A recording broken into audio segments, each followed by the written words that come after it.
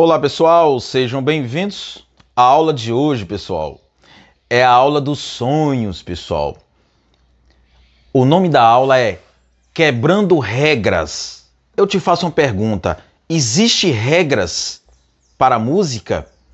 Eu vou te provar que não tem regras para a música. A música é infinita. O que você faz na música é justamente aquilo que tem dentro de você. A intenção que você quer passar na música, usando o campo harmônico, acordes, é, solos, escalas, melodias.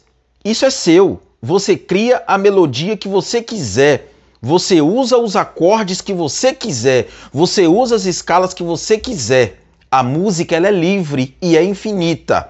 Por que, que eu estou falando isso? Por exemplo, todo mundo fala que o campo harmônico de Dó, por exemplo, vamos lá.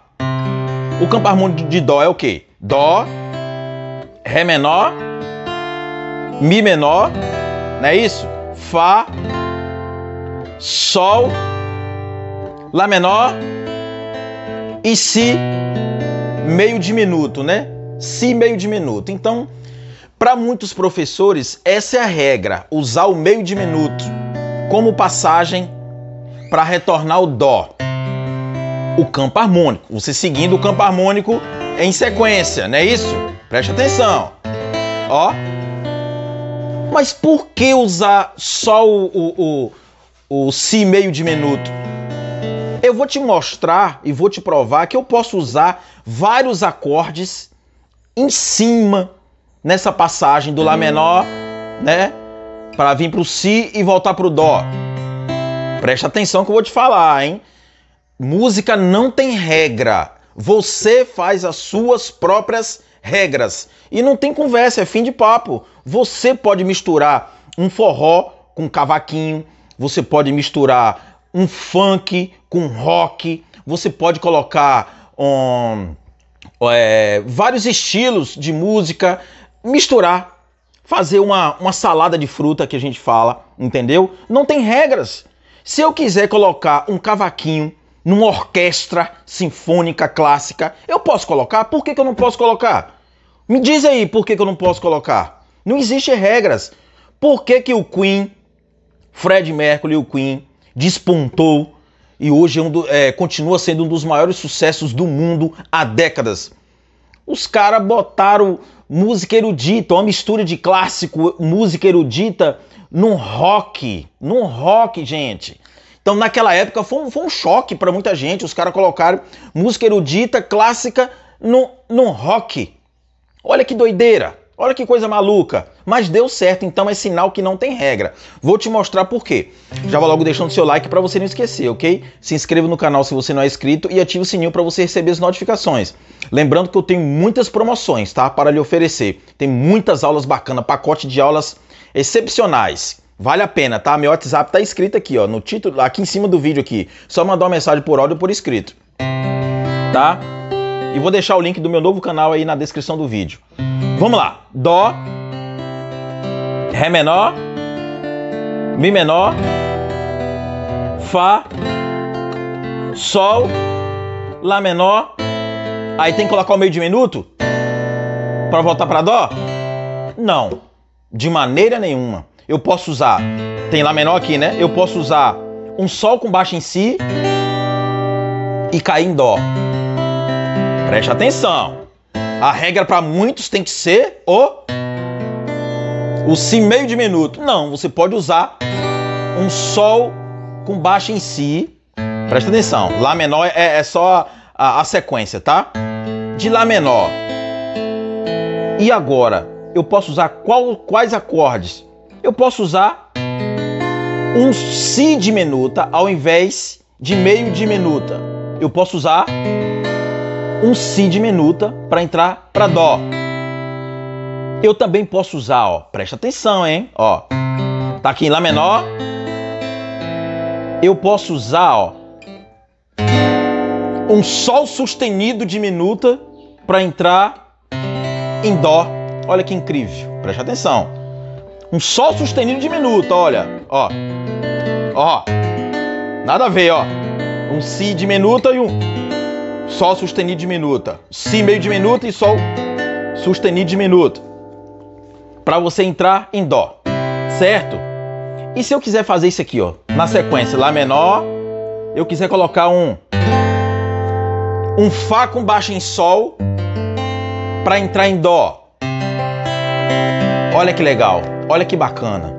Agora, se eu quiser fazer isso aqui, ó, Lá menor, Sol com sétima e décima terceira.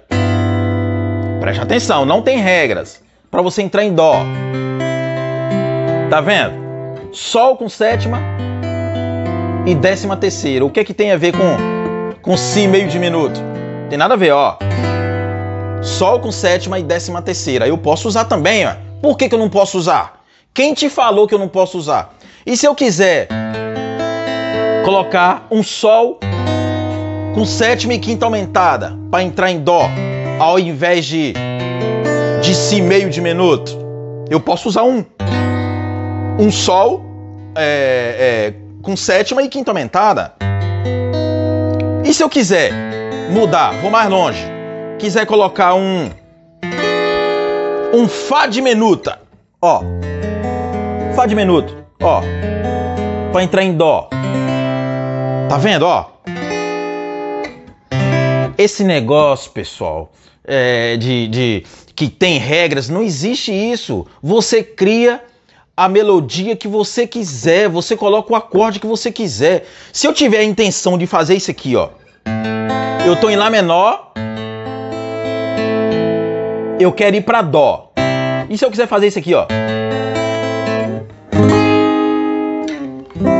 Pronto, eu coloquei, olha o que eu coloquei. Um Sol sustenido maior natural para poder entrar em Dó. Por que, que eu não posso colocar? Quem foi que te falou que eu não posso colocar? Então não vai nessa, nessa, nessa, nesse, nesse, nessa lábia dos outros ficar falando para você que tem regra. Não tem regra, não. Você faz o que você quiser. Entendeu? Isso depende da sua intenção. Qual é a sua intenção? Qual é a melodia que você quer passar para alguma pessoa ouvir ou para si próprio? Você pode criar simplesmente uma música só para você. Só para você ouvir uma melodia. Não precisa mostrar sua música para ninguém. Entendeu? Você pode fazer o que você quiser. Entendeu? Então não tem regras, não tem mistério. Olha o que eu fiz. Ó, Dó, Ré menor, Mi menor, né?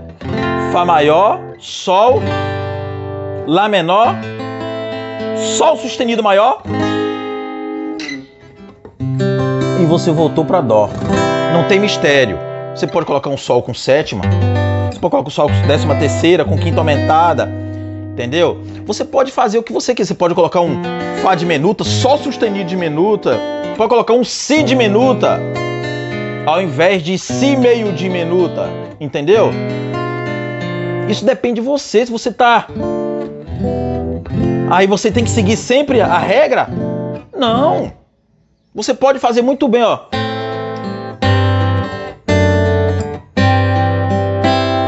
Tá aqui em Sol aqui, ó. Dó com baixo em Sol.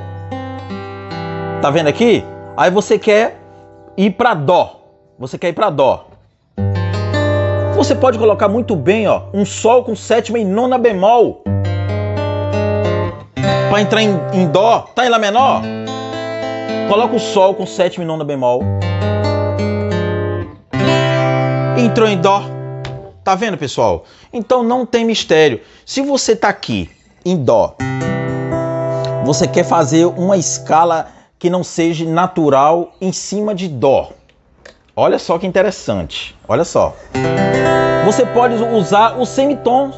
A escala não está aqui? Aí você já transforma a escala em escala cromática, por exemplo, ó. Ó, Fá sustenido está na escala de tá na escala de dó natural? Não tá, né? Então, você pode usar ela. Você pode usar uma cromática. Ó, olha a escala que eu fiz. Agora me pergunta foi o que eu fiz aqui. Eu simplesmente rodei o braço do violão, ó. Parei em cima da notinha que faz parte de dó. Porque isso aí já você já tem que parar em cima, né?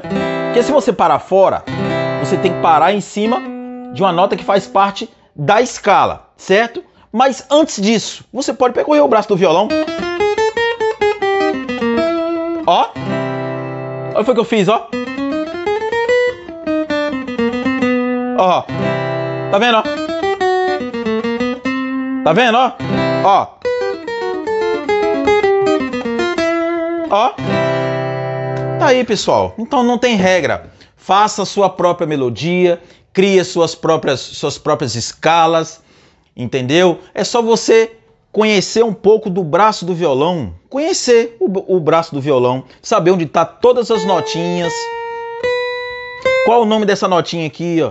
Da primeira corda, na, na nona casa. Isso aqui é um, é um Dó sustenido. Entendeu? Ou um Ré bemol, como você quiser chamar. Ré sustenido, Dó sustenido, Ré bemol, e tanto faz. Então você tá, sabe, sabe que nota é essa aqui? E essa aqui? Que notinha é essa aqui, ó? Ao longo do braço do violão. Isso aqui é um Fá sustenido, na segunda corda, na sétima casa. Então, eu tenho muitas aulas assim, muito, muita coisa bacana. É só mandar uma mensagem por áudio ou por escrito, tá ok? Deus abençoe a todos. Espero que essa aula sirva de exemplo para muita gente, ok? Um abraço.